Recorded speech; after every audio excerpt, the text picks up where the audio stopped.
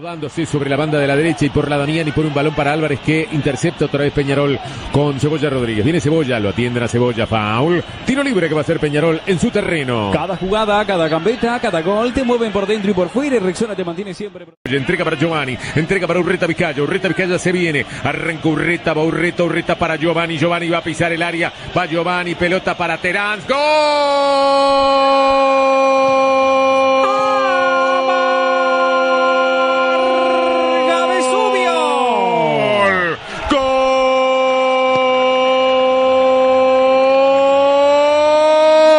Peñarol! David Terán, David Terán llegó de frente a la red con el arquero vulnerable tras la jugada de Giovanni González y Peñarol que estaba entreverado para pisar el área ajena, lo encuentra a cuatro minutos del final del primer tiempo, le rompe el arco a Boston River, lo hace David Terán, Peñarol 1, Boston 0. La para Bentancur, marca y saca el Tito Formiliano, va la pelota para De Los Santos, De Los Santos la viene llevando, Lle- lleva la pelota Peñarol en dirección del Lolo Stoyanov, Stoyanov que va colocando hacia Terán, tiró, el arquero, el remate, gol.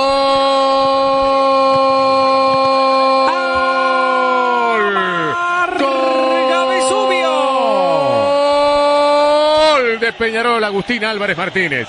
Aprovechó el remate y se saca la mufa de encima. El Botija, que es goleador en inferiores y no había podido celebrar muchos goles en la primera división. Llegó para aprovechar el remate y convertir. Sacudió Teráns.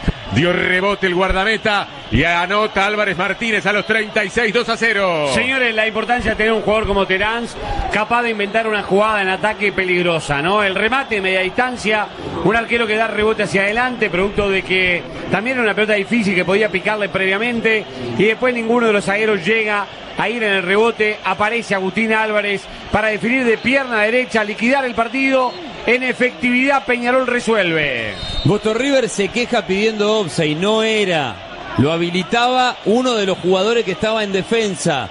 Segundo gol que hace en el campeonato, pero cómo le costó este. eh? Lo venía buscando hace muchas fechas con mejores ubicaciones, mejores definiciones, pero la historia de los goleadores es así. Minuto 49 de partido, segundo tiempo, va a sacar la pelota Dawson, ganando Peñarol por dos tantos contra cero, goles de Terán y Álvarez Martínez, viene la pelota para Álvarez Martínez, golpe de cabeza que va hacia la zona central del terreno para Agustín Álvarez que le pega mal, Álvarez Wallace, pelota afuera, saque de costado que va a ser Boston, estamos ya en el final del partido, la pelota la va llevando Emiliano Álvarez, Álvarez la tiene, Álvarez transita y le pega de derecha, fuerte para eh, la corrida de Bentancur. Allá va sobre el fondo de terreno. No llegó. La pelota está afuera y saque de meta que va a ser Peñarol. En tu cabeza solo fútbol, nada de caspa, shampoo Clear desintoxica tu cuero cabelludo, deja tu pelo nutrido y saludable, Peñarol bien dirigido, Mario Coya presidente, Chumbo da Silva vice, Bengo Echea director deportivo, un equipo ganador, lista 555. Últimas acciones de partido va para Pedro Silva. Pedro Silva coloca la pelota al medio,